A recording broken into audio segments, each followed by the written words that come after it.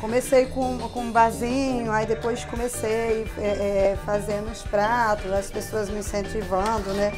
Para me fazer na comida, porque falava que era, minha comida era, era gostosa e tal. Eu fui me entusiasmando, né?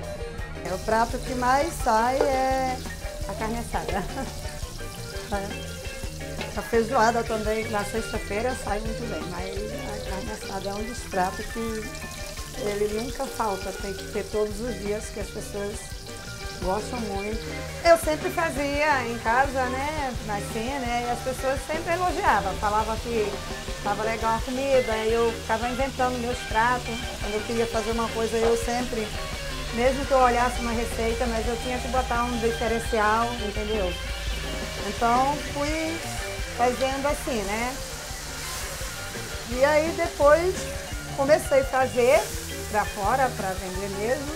Eu escolhi essa carne para o Festival Comida de Favela porque é um prato que assim, todo mundo gosta, você pode comer também ela tanto com refeição como né, assim no sanduíche. Eu acho que o Comida de Favela é uma oportunidade muito boa para gente aqui da comunidade. É uma oportunidade muito boa para gente divulgar um pouco o nosso trabalho, né?